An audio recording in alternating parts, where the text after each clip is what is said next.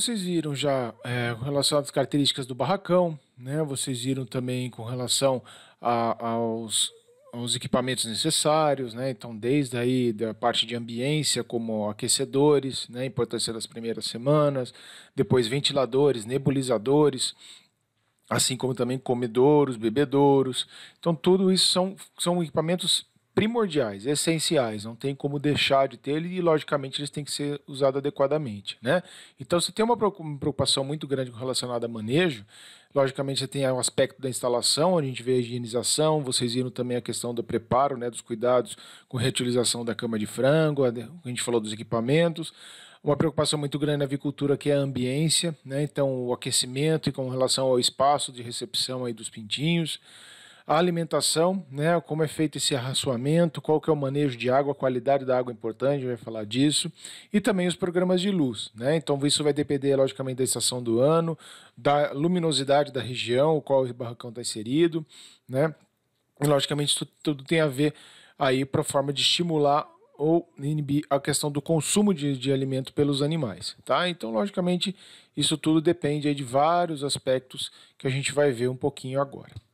Tá? Então, quando a gente fala de instalação, a primeira pergunta que vem, né, quantos frangos cabem no barracão? Né? Isso muitos alunos nas aulas práticas perguntam, professor, mas quanto, quantos frangos que cabem nesse barracão? O que a gente costuma dizer é que justamente você tem aí que ter um bom senso, pondera justamente a quantidade de, de, né, de, do, o tamanho do barracão, logicamente faz toda a diferença, e também a questão da linhagem, vai fazer também o tamanho que esses frangos vão ficar aí no, na, na, fase né, final da, da, da produção. Então não é porque eles são pintinhos que eles ocupam pouco espaço que você vai levar em consideração o tamanho deles enquanto pintinhos. Não, você tem que levar em consideração que no final da produção, cada unidade você vai ter em torno de 2, 2,5 kg, né, que é a média brasileira. Então quantos frangos que cabem por metro quadrado? Então você tem barracões que servem aí em torno de 10 até 20 frangos por metro quadrado. Então isso é muita coisa né? 20, 20 frangos no metro quadrado, assim, é extrapolando, é chegando ao cúmulo aí de uma densidade muito grande. Então a normalidade hoje nos barracões que as grandes empresas integradoras falam de 12 a 14 frangos por metro quadrado, levando em consideração que esse frango, ao final aí do período de produção, vai chegar em torno aí de 2 quilos né, de peso vivo aí antes do abate. Tá? A média do barracão, geralmente você tem de 10 até 15, né, sendo de 12 a 14 metros. E a largura, é bom e importante falar, porque a largura está relacionada também é, ao número de equipamentos que vai ser usado. Então, quanto maior a largura, maior o número de equipamentos. Então, vocês lembram na quando vocês viram a questão do, por exemplo, posicionamento dos ventiladores. Quanto maior a largura, você vai ter que ter mais linhas né, de ventiladores e também mais posicionamento, por exemplo, 4 a 6 ventiladores por linha. Por quê? Porque o barracão é difícil dissipar esse calor, esse ar fica estagnado. Né? Se for uma pressão positiva, então, o barracão, é muito mais difícil esse ar se dissipar. Então, logicamente, o uso do ventilador ele vai ser muito mais constante. Então, o que, que vai depender aí da largura do barracão? Até coloquei aí brincando um pouquinho no, com continuidade aí o dinheiro. É o grau de investimento ao limite. Você tem barracões de 20, 25 metros de largura, mas logicamente o investimento também equipamentos tem que ser proporcional a isso. Tá bom? E o comprimento também está associado ao grau de investimento, né? Então, muito associado também ao sistema de abastecimento, você vai falar de racionamento, é, de água, equipamentos. Então, o limite justamente vai ser esse. Tá? Então você pode ter barracões mega grandes aí, super grandes, e aí que está relacionado também que teve investimento adequado com relação aos equipamentos. Tá? O que, muita, o que se tem que levar em consideração também é a preocupação com relação a calor. Né? Então, é, a maior fase do, da preocupação relacionada a manejo, a gente tem nas fases de produção uma preocupação muito mais em ventilação, em resfriamento do animal, do que propriamente o aquecimento que vocês viram no manejo inicial. Tá? Então, por exemplo, depende da região. Então, regiões de clima quente e úmido, né? largura até 8, pelo menos um pé direito aí de 2,8 metros. E oito, tá? Local quente e seco, então, uma largura maior ainda, olha o tamanho do pé direito. Né? Conselha-se aí em torno de quase 5 metros né? de, de, de pé direito. Isso quando não utilizam-se o lanternim. Né? Lanternim é uma estrutura que você tem aí que sobressai ainda o, o, o primeiro o primeiro telhado, né, que é justamente para sair o ar quente lá por cima, tá? Então aí as paredes laterais em torno de 0,40 mais tela, isso para as pressões de pressão positiva, tá? e os extremos fechados. Então hoje a média, hoje não, né? Já há um tempo aí a, a, o, o que seria o barracão padrão brasileiro é um comprimento aí que varia de 50 a 150 metros, né? Uma média aí de 120 metros de comprimento, largura média de 12 metros, o pé direito variando aí próximo dos 3 metros e as muretas, né? Que são essas daqui laterais, em torno de 0,20, né? Até 0,30 centímetros. Tá? Então, um galpão mais atual, até coloquei entre parênteses moderno, não quer dizer o que, o que não está nessas, nessas medidas é arcaico, é, não é isso. Tá? Então, um galpão mais atual, você tem aí em torno aí de 1.440 metros quadrados. Né? Então, uma lotação, aí, se a gente for analisar perto aí de 12 aves por metro quadrado, torno de 18 mil aves né, no barracão aí de 120 por 12. Tá? Outra questão que a gente observa também com relação a, ao clima e topografia, logicamente, o barracão tem que estar no local plano, né? De preferência na orientação leste-oeste, né? Por quê? Pela questão do sol, né? Então você tem aí uma dissolação, né, de raios solares atingindo o barracão por igual, porque você pega aí uma, uma, numa, num, num sentido né, é, perpendicular e praticamente para nascer do sol, do sul, do, né, colocando por exemplo no sentido de norte-sul, você vai ter o barracão atingindo as laterais. Então você tem pela manhã um grau de insolação muito grande na área leste e do outro lado do barracão, na área oeste, você tem uma, uma radiação solar muito maior na área na parte no outro lado, né? Então você tem necessário o quê? O que, que vai acontecer aqui? Um maior manejo de cortinas, ventiladores. Então você vai ter que mexer mais do barracão se você ou né, não tiver disposto nesse sentido leste-oeste. Não estou dizendo que tem que ser perfeito, né? Leste-oeste certinho aí com relação aos graus. a, a, a localização do, né, o posicionamento do, do, do, galpão. Não, você tem que manter pelo menos no sentido aí leste-oeste, não tão direito, mas que o mais próximo possível disso. Senão, você vai ter que mexer bastante equipamentos associados à ambiência, tá? Então aqui só um exemplo para vocês, uma planta, né, aí de quatro galpões, né, totalmente já estados, você tem aí é, o galpão, você tem a casa de máquinas, você tem aqui os silos que fazem por esses canos aqui, né, a questão do arraçoamento, tá? ventiladores, exaustores, aqui são barracões aí de pressão negativa. Então, quais são esses tipos de galpão? Né? Pressão positiva, pressão negativa que eu estou falando para vocês. Pressão positiva é o que tem ventilação natural. Você não tem um único fluxo de, de, de, entrada e saída de ar. Né? Então você tem a entrada pelas laterais, a ventilação natural do ambiente. Então aí você tem que ter um manejo constante de cortinas, em decorrência justamente dessa variação dessa ventilação. Né?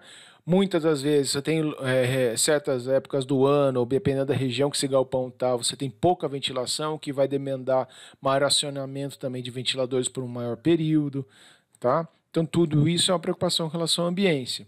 Geralmente, o que é importante ter durante perto desses galpões de pressão positiva? Árvores para sombreamento, né? Então, uso de ventiladores mais, mais facilmente, como eu falei para vocês. Então, essas árvores aqui acabam facilitando, diminuindo né, um pouco mais a preocupação com relação ao resfriamento. Sempre lembrando, gente, dois terços praticamente do manejo de um galpão, de, um, de uma produção de aves é resfriamento. Você tem que ficar preocupado em ventilação, nebulização, resfriamento dos animais, tá? E o de pressão negativa, ele é o contrário. Você tem um com a corrente de ar, sendo pelo captador de ar, como também pelos exaustores. E no meio você tem aí linhas de ventiladores que mantêm o fluxo unidirecional desse ar. Tá? Então, você tem o uso de ventiladores em torno aí de, né, que fazem um, um vento em torno de 2 metros por segundo, né, a velocidade aí do ar dentro dos, do, dos, dos aviários, né, dos galpões, então isso faz com que você tenha um resfriamento maior. Então lembre-se que esse ar vem comumente trocado né, do, do externo e, e, interno, faz com que você tenha maior troca de calor. A partir do momento que você tem o contato desse ar mais fresco com a ave, você tem uma troca de calor. Né? Então esse ar tem que ser movimentado frequentemente. Bom, por ter uma pressão negativa por meio aí de uso de ventiladores, exaustores e tudo mais, aí pode-se até ter um pé direito mais baixo, porque a ventilação ela não vai ter um ar estagnado, o ar vai estar sempre em movimento, tá? Então, geralmente é um barracão. Ah, professor, mas é um barracão de pressão positiva, ele pode ser adaptado para pressão negativa? Com certeza, né? O que qual que é a importância dessa? É a captação do ar e a saída do ar, né, tanto interna, com o uso dos ventiladores em linha, que movimentam esse ar de extremo a extremo. Tá? Então, aí, logicamente, pressão negativa, você não pode ter entrada de ar lateral, então, num único fluxo. Então, né, cortinas aí levantadas, então, também associada aí também à luminosidade, a questão de insolação. Outra ponto bastante importante é a, a, o sentido do, do, do aviário também, né? E tá leste-oeste. E aí uma variação da pressão negativa são os dark houses, né, que seria um galpão mais moderno, onde demanda logicamente um investimento muito maior, chamados galpões escuros, né, é também de pressão negativa, não é um terceiro tipo de galpão, e sim uma variação da é, uma, né, um galpão muito mais moderno aí da, da que seria dos outros aviários com cortina. Qual que é a diferença desse daqui? O próprio nome fala. Os animais eles ficam o quê? Dentro de um local muito mais escuro. Então é, você tem o galpão totalmente fechado. Você não é fechado só nos extremos e do lado, né, nas laterais você tem grade, você tem aí a parte de tela, né, que abre. Não, você pode ter alguns pontos, mas sempre vai estar fechado com cortinas aí, praticamente blackouts, tá? Que vão estar fechados, exaustores, ventiladores sempre ligados. Para quê? Para esse ar ficar praticamente sendo trocado diretamente. Tá? Então você tem o maior confinamento de aves, isso possibilita porque essa escuridão, né? Quando a gente fala escuridão, você pensa que é um breu, né? Completamente escuro. Não, não é isso, né? O que se deve a esse, essa, essa dark house é porque uma luz mais branda dentro da necessidade do animal. Então, o que, que geralmente está associado? Os animais mais jovens eles têm que consumir maior ração, então você tem uma maior luminosidade. Com, com né, o desenvolvimento do animal, ficando animais mais maduros, né, mais próximos aí do final da criação, essa luminosidade ela tende a diminuir. Lógico que isso também ocorre uma variação. Quando você demanda maior necessidade de flu, fluxo de ração, de água para o animal, é a luz que está estimulando. Então, muitas vezes, dependendo do, do objetivo da criação, você tem também como mexer nessa luminosidade para determinar maior com, é, consumo. Tá? Consequentemente, o que, que vai ter? Um menor estresse e melhor conversão alimentar também. Então, as dark houses não são realmente uma variação, algo moderno que está na moda, não, muito pelo contrário. O custo-benefício de uma dark house ela é muito alta. Tá? Por quê? Por, justamente por essa melhor conversão alimentar e menor estresse. Então você vai ter menor mortalidade de aves, no ambiente de barracão, ele, você vai ter também é, um menor desperdício de ração, aves vão chegar num grau de uniformidade maior. Tem todo aí um ponto também que é necessário e, logicamente, as empresas integradoras ela, elas de, né, demandam cada vez mais maior número de aves, maior número de produção. Então, para intensificar uma produção, os galpões escuros, as dark houses aí, é, acabam sendo a alternativa, tá? Mas viável ou não depende do produtor, tá? Por quê? Por causa do alto investimento, tá certo? Aqui só algumas fotos para vocês verem aí, pintinhos da primeira semana, né? As aves aí trocando de, de penas, né? Plumagem e tudo mais, com aquecedores, ó. Aqui no caso são cortinas que vão dividir os lotes, os comedouros, né? Bebedouros ali também em linha, aqui atrás, né? Aqui uma vista longitudinal do barracão, então você tem captação de ar, ó, totalmente fechado, pronto para receber, né? Os pintainhos aí, ó, provavelmente já está no comecinho, ó, né? Bem baixos aí. E esses bebedouros e comedouros, como vocês já viram, né? À medida da produção, eles vão subindo de acordo com o tamanho do animal, tá? Aí a lateral, barracão, né? Totalmente é, é, fechada. Então, daí eu me pergunto, o que acontece se faltar energia? Para um, um, aviário desse ser, ser do tipo Dark House, logicamente tem que ter um gerador de energia suplementar. Tá?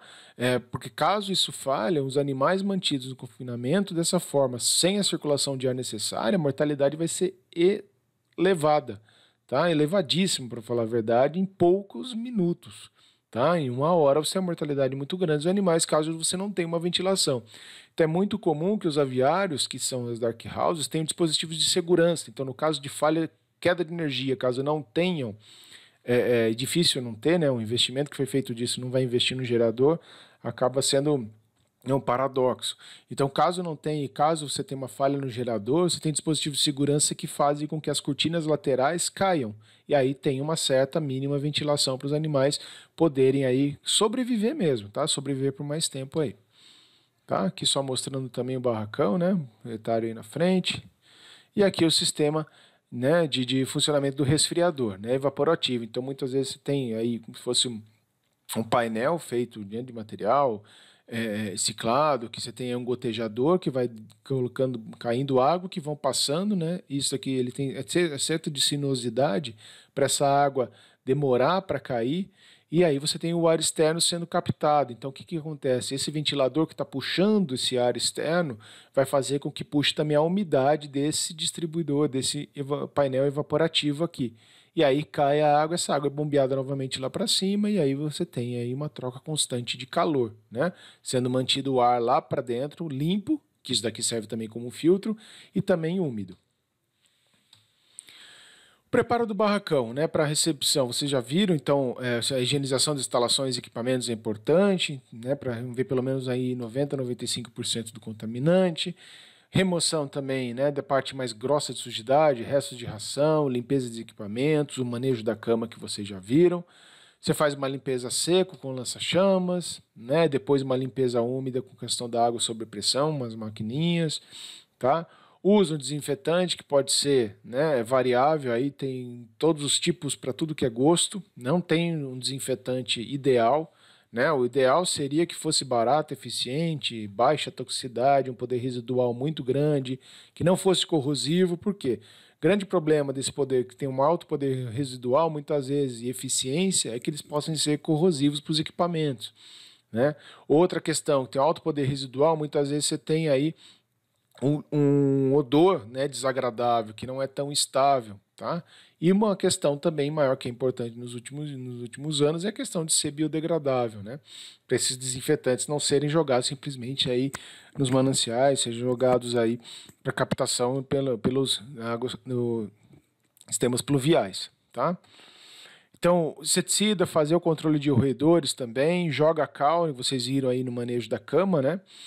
E aí mantém o vazio sanitário de 10 a 15 dias, tá? Para interromper um ciclo ao outro, né? Aqui são as fotos aí de preparo da cama, aqui é a remoção completa da cama, tá? Aqui é a limpeza, você tem escovas aqui que vão fazendo a limpeza, tá? Dessa, dessa cama.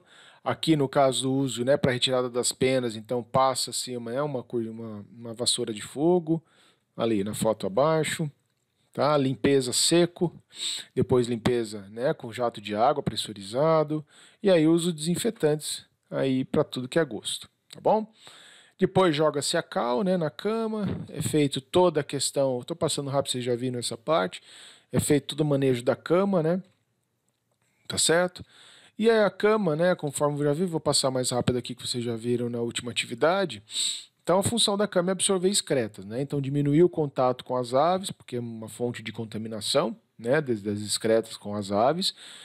A importância também é reter água, isolar as aves do, do, no, né, do frio, provavelmente do, com relação ao piso. Então, se for piso de concreto, é, o, o, esse isolamento ele tem que ser maior comparado ao piso, né, se for de, de não for de concreto, for piso chão firme, né? e que mantém uma superfície mais confortável. Esse é o nome até da cama de frango, tá? Então, o material adequado ele tem que unir essas características aqui. Então, para isso tem vários tipos, né? Então é importante também que a partícula seja de tamanho médio, ela não pode ser muito é, é, fina, por quê? Porque com o pisoteio das aves e também o manejo tudo mais, a areação tudo mais, ela pode suspender no ar e isso pode dar problema também respiratório nas aves, logicamente o estresse e a mortalidade. Tem que ter boa capacidade absortiva, um bom isolamento do piso, amortecimento também. Isso daqui é primordial, gente, tá? Principalmente para o produto final. Né? Então, por exemplo, países da Ásia, o Brasil exporta muito, uma característica importante desses, desses importadores é que eles querem, eles consomem o pé. Né? Então o pé do, do, da ave ela tem que estar tá livre de calos, ela tem que ser né, com uma carne com característica muscular mais mole. Então esse amortecimento é importante. Tá? Que tenha uma umidade de 20 a 25% e, logicamente, que seja de baixo custo. Né? Então, esse baixo custo muitas vezes está ligado a essa disponibilidade na região. Então, não adianta, por exemplo, você estar tá numa região área que você não tem uma captação, você não tem regiões florestais, ou que você não tem manejo de madeira ou reflorestamento, que você queira fazer. Não, quero uma cama só faço de, naravalha, de maravalha. né? Mas se a disponibilidade na região não tem, logicamente o custo disso é muito mais alto, tá?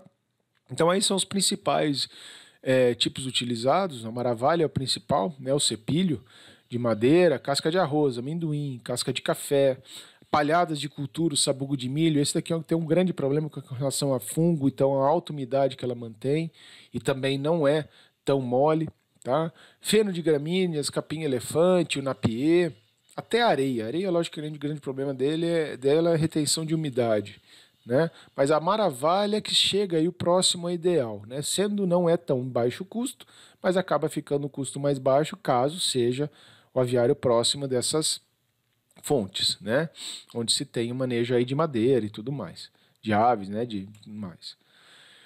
A reutilização da cama, né? Vocês já viram também passar um pouquinho rápido nisso, só para comentar. Então, a escassez de cama muitas vezes, né? E logicamente aumento de preço. Então, outro ponto importante é que desde 2009 você não pode mais comercializar cama de frango para alimentação de ruminantes, né? Dado o problema aí grave que se tem aí né? Porque você tem excretas dos animais, de aves, que você pode ter ali, inclusive, restos de animais, dependendo do manejo que for deficitário no aviário, pode passar para consumo de vacas, né? Então aí você tem uma série de, de doenças que pô, são transmissíveis por meio da cama de frango também para ruminante, tá? Então desde 2009 a proibição. Então antes que se tinha, vendia cama de frango após um ciclo de produção, a diferença era é, vendia-se bem, né, porque acaba sendo um subproduto importantíssimo para o aviário, vendia-se para consumo aí do, né, do, da alimentação para bovinocultura, principalmente, e o que, que fazia com esse dinheiro? Você sobrava um saldo aí praticamente que custeava né, o pagamento, a compra de uma nova cama, né, de todo um, um volume grande para fazer uma nova cama para o próximo ciclo. Tá? Então as normas de reutilização ela é, acabou sendo uma rotina né, na, na, vida do avicultor, que fazem uma troca aí de uma, duas vezes por ano, tá? dependendo do que ocorrer aí durante também o ano de produção. Então tem que seguir rigorosamente essas normas, né? Então, se tiver alguma doença no aviário, por exemplo, que seja notificação obrigatória ou que demande aí, por exemplo, o sacrifício de todo de todo o galpão, né, de todas as aves do galpão, logicamente você não vai reutilizar a cama, Tá? Então, retira, lava, desinfeta os equipamentos, tudo isso tem que ser feito. E aí isso acaba sendo ou não uma prática mais sustentável. Né? A reutilização do, do equipamento, de tudo que você faz de material de consumo numa grande, isso é uma base de sustentabilidade também. Então, isso é importante. Tá? Diminui o custo também para o produtor. Tá? Então, retirar partes emplastradas, essas as croças, então simplesmente você vai revolver a cama, passa o tratorzinho ali com o arado revolvendo, tá? Destrói as penas, amontou a cama, se ela está muito seca, você tem que umedecer, né? A gente vai falar isso para quê? Por quê? Porque depois você tampa essa cama, né? Então você vai compactar essa cama e manter ele um ambiente mais anaeróbico, livre de oxigênio possível. Então o que, que vai acontecer com esse livre, sem oxigênio, né? Você tem um aumento da temperatura em decorrência do próprio posicionamento do galpão e isso vai começar a acontecer uma fermentação, né, por parte dessas bactérias aí anaeróbicas, que isso fazem também com o pH caia drasticamente, né? Então produzindo uma fermentação é ácida e aí faz com que você tenha diminuição de pH e que limita a sobrevida das bactérias aeróbicas, que a maioria delas é que são as transmissoras de doenças, tá? Então o que você pode fazer também, em vez de amontoar, você pode colocar, né, essas esses encerados, os plásticos em cima e aí fazer a compactação passando com rolo, né, aqui em cima, de ponta a ponta. Isso também vai eliminar todo o oxigênio e fazer também né, essa, a, o ambiente anaeróbico, sendo a morte dos micro-organismos. Então, aí o tempo sanitário, né, que depois mantém a cama dessa forma, de 10 a 15 dias, tá, gente? Coloca aqui, podendo ser 12 dias, dependendo do galpão, dependendo da integradora. Aqui outras fotos, tá? Dependendo da cama, é, essa cama de frango ela pode ser utilizada ali para um biodigestor que vai gerar gás, que vai gerar energia. Né? Então amortiza aí, ó, pelo menos 40% de gás e energia, logicamente dependendo do tamanho desse biodigestor, da quantidade de cama que vai ser é, é, submetida a esse sistema. Tá? E aí equipamentos né, necessários aí para próximo, do primeiro ao décimo primeiro dia de vida. Né? Você tem nas primeiras semanas que vocês já viram é um controle muito mais do aquecimento. Né? Então a gente observa aqui embaixo, ó, né, que a gente já falou, é, a gente observa aqui a temperatura de conforto, né, inferior, conforto superior. Então você tem um limite muito curto, ó, né, a temperatura de conforto nos primeiros 12 dias de vida do animal. Olha como você tem aí um período de 32 a 39. Passou disso, então entre 32 e 39 é a zona de conforto térmico né, que se tem. Zona de conforto térmico ótima, né, que seria ideal, é 35 graus. Então, entre 32 e 39, o animal ele consegue se adaptar. Passou disso, dos extremos, né, tanto inferior superior, você já começa a ter o estresse do animal. Consequentemente, a produtividade vai ser influenciada. Tá? Com mais de 12 dias, olha como aumenta essa zona de conforto térmico. Em torno de 10 graus, de 18 a 28 graus. Então, é muito mais fácil a questão do manejo, torno de 15 a 32 graus, né? Temperatura de conforto inferior até temperatura de conforto superior. Então dá ainda, você tem uma margem maior de segurança para trabalhar a temperatura do animal. Então, logicamente, aqui, quanto maior o número de aves, você tende a ter o que? Maior calor dentro do, do aviário. Então, com isso, aqui, no, depois dos dias, você vai, a preocupação sua vai ser o quê? Aeração, você vai ser ventilação, a questão do resfriamento do galpão. Enquanto que nas primeiras semanas, que vocês já viram, a preocupação é o aquecimento, tá?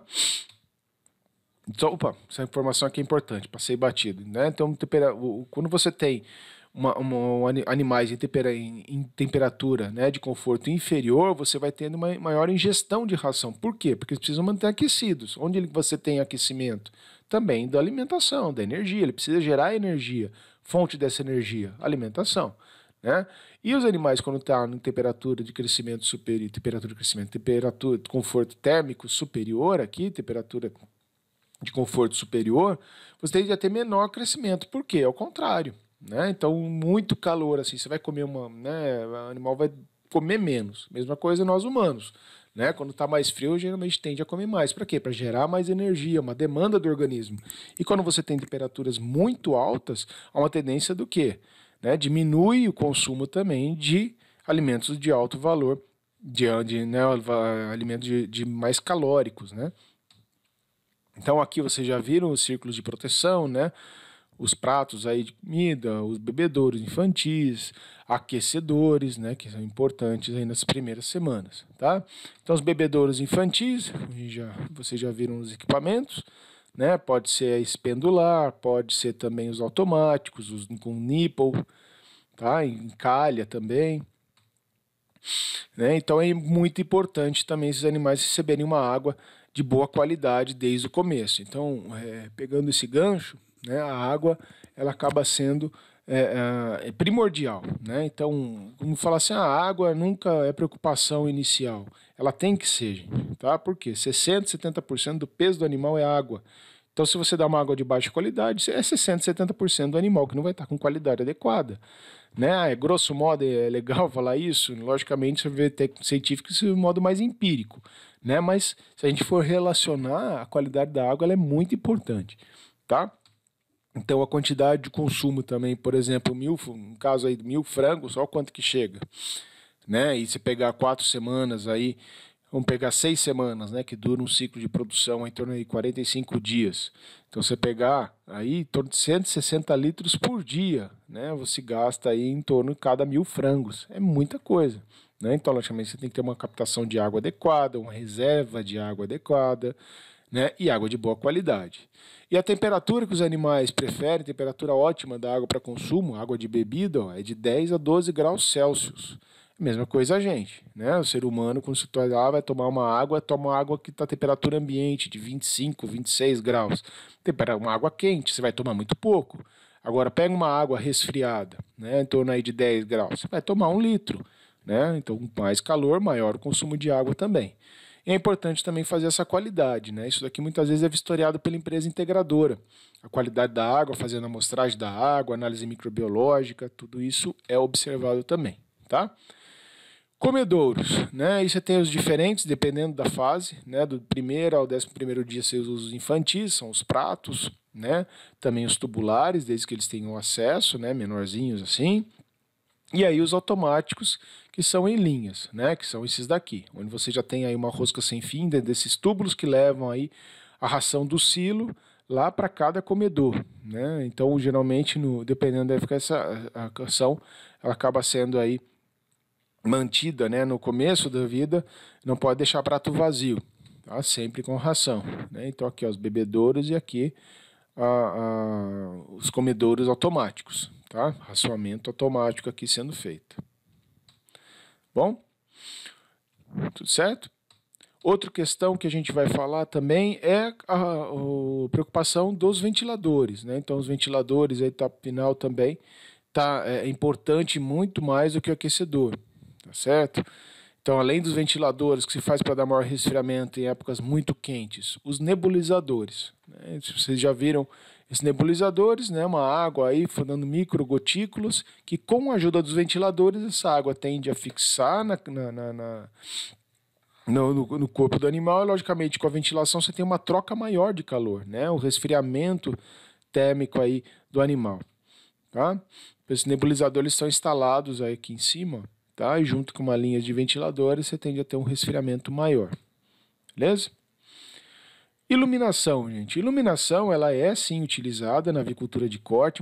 Muitos, assimilam iluminação somente como uma necessidade da avicultura de postura, tá? Mas a avicultura de corte, ela é fundamental a questão da iluminação, principalmente nos dias aí que você tem menor é, dias, né, menor hora de sol, né, de iluminação aí que são os meses aí de inverno, de outono e inverno, tá? Que aí você tem aí que são os períodos decrescentes, né? Começa é, de um período, uma época decrescente do ano, que você começa com alta luminosidade, aí que são no mês de janeiro até junho, e aí você tem o período crescente de luminosidade, que é de agosto até dezembro. Tá? São os dias maiores e noites mais curtas. Então tudo isso vai depender, tá? Aí da questão da luminosidade, tem outras, dependendo da época do ano, tá? E também depende da vida do animal. É aqui peguei o exemplo dessa foto, a Dark House, né? Então, aí com os animais mais jovens tende a ter maior iluminação. Com os animais é, é, evoluindo mais aí no crescimento, né, que seria uma fase mais de crescimento, você tende a ter aí uma menor iluminação no galpão, tá? Ficando aí no final do ciclo praticamente uma penumbra só, tá? Para esses animais é, não é que eles não vão enxergar, eles vão estar tá enxergando, logicamente, tendo acesso à água, à ração, só que num grau de baixa luminosidade, tá? Isso diminui estresse e tudo mais, tá? Os equipamentos, né? Então é importante também o painel de controle, principalmente naqueles galpões que exigem, né, um maior controle do ambiente, que é os galpões de pressão negativa. Então, tanto aqueles que são mais simples, como também os dark house. Então, você tem que ter um painel de controle que vai mensurar a temperatura, a umidade, a ventilação, a fim do quê? De ligar automaticamente os ventiladores, ligar automaticamente né, os nebulizadores, caso sejam necessários. Nas primeiras semanas, na primeira semana até o décimo primeiro dia, né, primeiro até o dia até o décimo primeiro dia desses animais recém-chegados aí, o, a preocupação vai ser aquecimento, então você precisa também ter aí a questão da temperatura, né, para ligar e desligar aquecedores. Tá? Então, para isso, logicamente, o controle maior. Você precisa ter um gerador de energia suplementar aí.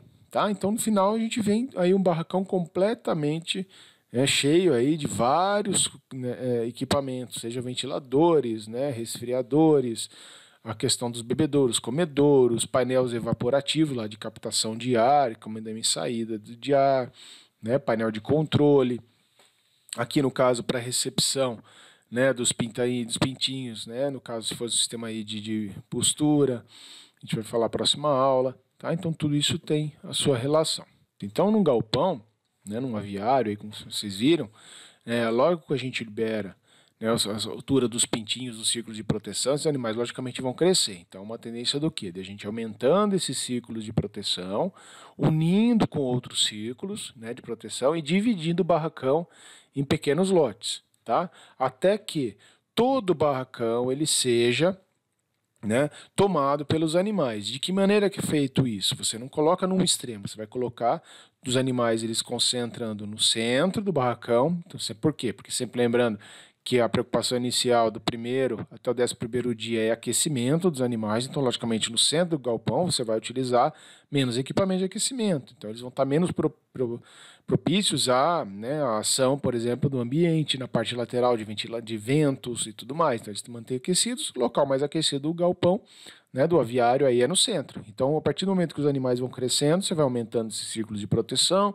vão unindo com os outros círculos e aí expandindo até que os animais estejam já num tamanho, alimento, né, que você possibilite liberar completamente o barracão, tá? Então aí os aquecedores, né, sendo mantidos, eu vejo que aqui já liberou, você tem aí os bebedouros, os comedouros, né? Aqui os bebedouros, tem os comedouros aí que são os pendulares, tá? E aí, mas mesmo assim o aquecimento, um pouco mais, mais distante, mas mantendo aquecido, e você já nota aí que o galpão inteiro já está é, liberado, né? já está solto aí. Então você tem aí, você necessita fazer a checagem né, dos equipamentos, comedouros, então geralmente o uso de uma ração farelada e vai elevando gradualmente esses, esses comedouros, né, a ponto que fique aí na altura do dorso das aves, né, nessa parte aqui das aves aqui, a, a, né, a borda aí do comedouro e os animais consigam comer, tá?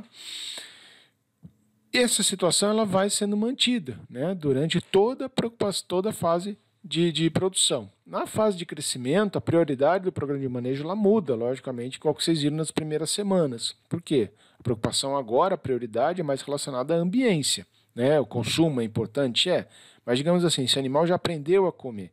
Você vai adaptar esse consumo, os equipamentos, como também a ração, ela vai ser um outro tipo né? uma ração já de, cres de, de crescimento né? para os animais. Mas a prioridade agora do programa de manejo vai estar baseado na uniformidade do lote. Então, o que, que você tem que manter? A uniformidade do lote. Todos os animais eles têm que expressar o mais perfeito possível o seu potencial genético. Então, aqui tem que chegar a um ponto aí de excelência do manejo, associar também a isso o manejo nutricional muito bom, tá? Para quê? Para que esses animais ele tenham uma conversão alimentar ótima, né, a ponto de você ter quanto menor a conversão alimentar, menor, né? Quanto menos ele comer e mais produzir, mais ganhar peso, isso é melhor, né? Vai ser um custo menor para o produtor. Então, tendo aí um ganho médio diário cada vez maior para ter justamente uma viabilidade daquele lote, daquele galpão né, daquele aviário ali. Então, isso daqui geralmente vai atender as especificações que a integradora exige e, lógico, consequentemente, o produtor vai ter maior lucratividade. Né, gente? Sempre lembrando que nenhum produtor aqui faz isso por hobby, porque gosta da avicultura. Né? O gostar da avicultura, logicamente, está associado ao seu sustento, como também da sua família. Então, é necessário sim uma lucratividade. A gente está falando é, é, de, de produção. Tá? Então, para a conversão alimentar seja adequada, seja cada vez menor, você precisa adequar uma série de fatores de manejo, seja o manejo nutricional, como também de ambiência, né? o manejo zootécnico. E aí entram dois pontos importantes que são a temperatura e também o programa de luz. Tá? Ah, isso a gente consegue observar né, se a gente tem que mexer na temperatura, mexer no programa de luz, em decorrência do comportamento das aves. Então, por exemplo, se as aves elas estão se alimentando, né? Então significa que o quê? Que ela está ali num ambiente adequado.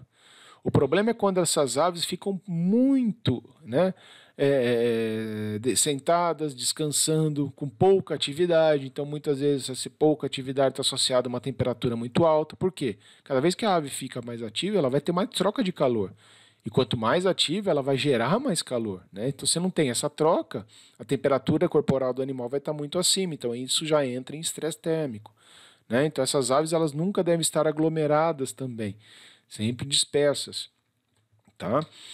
Então a temperatura, né, a gente consegue ver nesse quadro aqui. Você tem aí pelo menos né, da idade baseada aqui a temperatura exigida, né, que é Celsius aqui Fahrenheit, mas você vê aqui, ó, temperaturas em Celsius, de 0 até os 14 dias né, dos sete dias na primeira semana, ó, até os 10 dias, vamos colocar assim, é 30 graus, né, 32, 33, depois vai baixando. Então, aos 42 dias, ó, a temperatura ótima de crescimento, 18 graus. Então, tem que resfriar. Agora, você imagina um galpão, né, lá num local que seja bastante úmido, né? E, e um clima muito quente, beirando, com sensação térmica externa aí de 40, 40 e poucos graus, mas as aves têm que manter um ambiente resfriado. Né? É sobre um ar-condicionado praticamente. Então você tem aí nebulização, ventilação sendo utilizadas. Tá?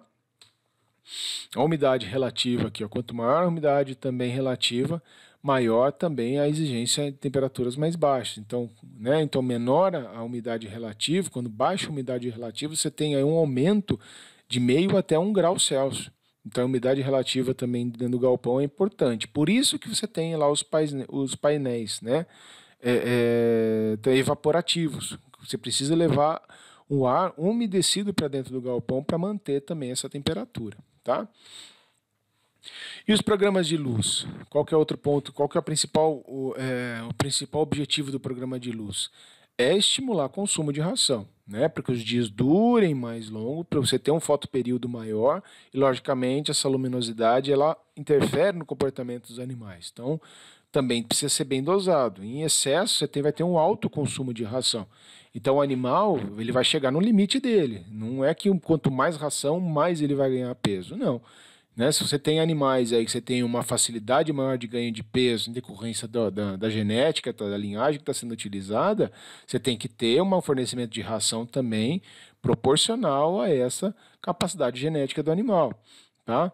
O que muitas vezes acontece, tem um alto consumo de ração, muitas vezes tem uma estrutura óssea também que seja compatível para aguentar aquele peso do animal. Então, o que, que pode acontecer? Os animais ganharem uma massa muscular, um peso muito grande, só que a estrutura óssea do animal ela é muito fraca. E que pode você começa a ter problemas de pés, calo, fraturas, né? Então isso não pode ser é, é, observado, sempre lembrando, é produto aí de exportação, né? E você tem outros mercados consumidores que outras exigências também de consumo. Dei o exemplo lá dos países asiáticos da questão do pé, tá? Então, alto consumo de ração de 7 a 21 dias, mas não pode estar em excesso. Né? As aves gordas você tende a ter aí descarte depois. Né? Então, aí, ó, acite, né? o problema de saúde aí, morte súbita, né? problema de locomoção. Então, uma vez que uma ave tem um problema de locomoção, ela vai sentir dor para ir num bebedouro, para ir no comodouro. Então, praticamente, essa ave ela está inviável sendo mantida ali. Né? Ela vai ter que ser descartada. Então, geralmente, o programa de luz se baseia em torno de 18 horas de luz e 6 horas de escuro. Tá? Sempre lembrando que é necessária uma, melhora de, uma hora de escuro para quê? Porque aí o animal tem uma melhora imunológica. Isso é fisiologia, né? imunologia. Precisa ter para restabelecimento da condição corporal do animal. Tá?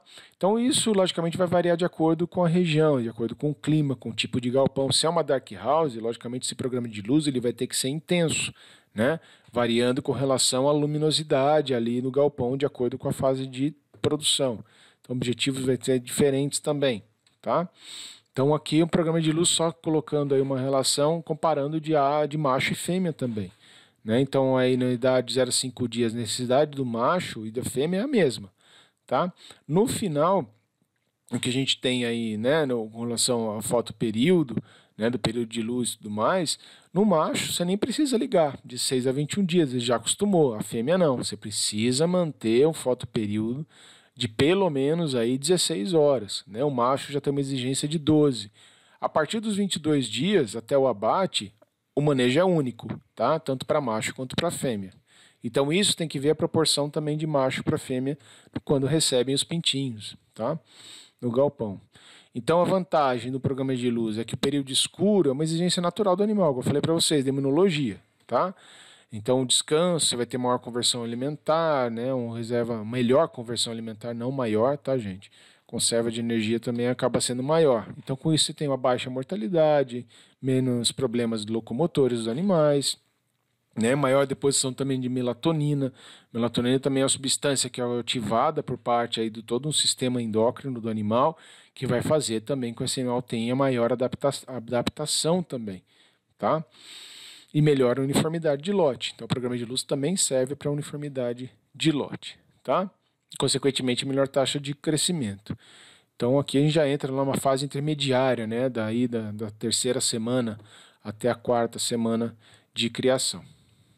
Tá certo? Então notem aí que as aves você tem aí uma especial, uma ração já diferenciada, que vocês vão ver né, no conteúdo de nutrição de não ruminantes. É totalmente diferenciada essa parte, ok? Até o ponto que o galpão já esteja em fase final de produção, que vocês vão observar no vídeo é, é complementar, que eu vou deixar o link também para vocês. É um vídeo muito bom da AgroSéries Multimix, que fala aí do manejo pré-abate dos animais. Ok? Aqui só mostrando mais um aviário, né, um galpão aí, completo lá, tomado por aves já em fase final de crescimento. Ok? O que, que a gente observa no final do processo de criação? Logicamente que isso tem que se virar números. Né? Então, é importante no Brasil, importante no aviário, né? e o Brasil tem uma fama de pouco medir. Né? Na, pouco se mede, muito se acha, pouco se mede. Né? Não tem mensuração praticamente de nada. Então, você precisa colocar na ponta do lápis como que foi esse ciclo de produção. Então, para isso, a gente precisa calcular o desempenho de lote. Tá? Então, o desempenho de lote ele vem de vários parâmetros. Então, você tem o peso médio final do lote. Então, você pega o peso total das aves, né? É, no final, quando vem do abate, você vai somar todo o peso que vai dar do frigorífico e pelo número de aves entregues. Então, você vai ter um peso médio aí ao final do lote. Né? Daquele lote, ó, pesaram, o peso total foi tanto em tantas aves. Então, cada ave aí teve um peso médio de tantos quilos, 2 quilos, 2 quilos e meio, 2 quilos e 800, 3 quilos, depende aí da função também da criação, tá? Consumo de ração por ave, né? Então, bem, total de ração consumida durante esse ciclo de produção e o número de aves entregues. Porque a gente não aborda aqui o número de aves mortas, você tem que levar em consideração as aves que foram do início até o final do ciclo de produção, até os 42, 45 dias aí, tá? Conversão alimentar né, a média de consumo por ave, ou seja, o quanto que as aves comem, pelo quanto que aquilo que ela vai entregar, qual é o peso vivo dela, né, em ganho de peso. Então, quanto que ela come para gerar um ganho de um quilo, por exemplo, né, de, de peso vivo. Então, quanto menor a conversão alimentar, melhor o desempenho do lote. Ela precisou comer menos para produzir mais. Tá? Eficiência alimentar, né? Seria a mesma coisa a conversão alimentar, só que aí associada a uma porcentagem tá? É uma taxa de eficiência alimentar. Então, a mesma coisa, a média do peso vivo sobre a média do consumo, tá? Vezes 100 aí que vai te dar uma porcentagem. Mortalidade também é uma porcentagem, né? Uma taxa de mortalidade, número de mortes, né? No final do ciclo, quantas aves morreram para a quantidade de pintinhos entregues ali no primeiro dia. Viabilidade, né? De qual é a viabilidade daquele lote? É o número total, é 100%, menos a taxa de mortalidade, né? Que se a gente for pegar aqui número de mortos por número de pintinhos entregues num dia vezes 100. Então aqui é percentagem. Então 100% menos X%, que foi a taxa de mortalidade, você vai ter uma viabilidade do plantel de 90%, 95%. Tá? E aqui entra duas fórmulas que aí entra aí muito na, na que seria a prestação de conta para uma empresa integradora ou final aí da produção, seja um produtor independente, que vai ser o fator de eficiência de produção, né, o FEP. Então, a eficiência de produção está associada aí com a viabilidade, quantas aves chegaram no final, vezes o peso médio, que é aquela primeira forma a gente viu no slide anterior, né, o peso médio no peso total das aves dividido pelo número de aves entregues, a conversão alimentar, né, o quanto cada ave, a média de consumo da, das aves, dividido também pelo peso médio das aves, tá? E a idade ao abate. Tá? Então, se a gente for ver peso médio também está envolvido em conversão, a gente pode calcular a eficiência produtiva como o ganho médio diário vezes a viabilidade vezes a eficiência alimentar. Tá? Então, isso você calcula, você consegue ter eficiência de produção. Quanto maior a eficiência de produção, isso está associado ao melhor manejo, tá? melhor com relação às instalações. Então, isso também serve para quê? Para mostrar uma eficiência produtiva. Tá? E é, essa eficiência produtiva está ligado, muitas vezes, em questões você precisa aumentar ou, diminuir, ou manter, pelo menos, essa, essa linha como está sendo feita a produção, precisa melhorar atrás serviços, por exemplo, você tem aí, se você nota que a eficiência da produção ela foi influenciada para baixo, vamos colocar assim, né? Foi é, bastante influenciada, negativamente influenciada pela conversão alimentar, por exemplo. Alguma coisa está errada na parte de manejo nutricional. Né? Então isso você precisa, ou mesmo do manejo não é a ração, não é né, a ação principal, mas aí o manejo nutricional vem de equipamentos envolvidos na nutrição, será o mau funcionamento do comedouro, mau funcionamento do bebedouro, tá? Tudo isso também está associado.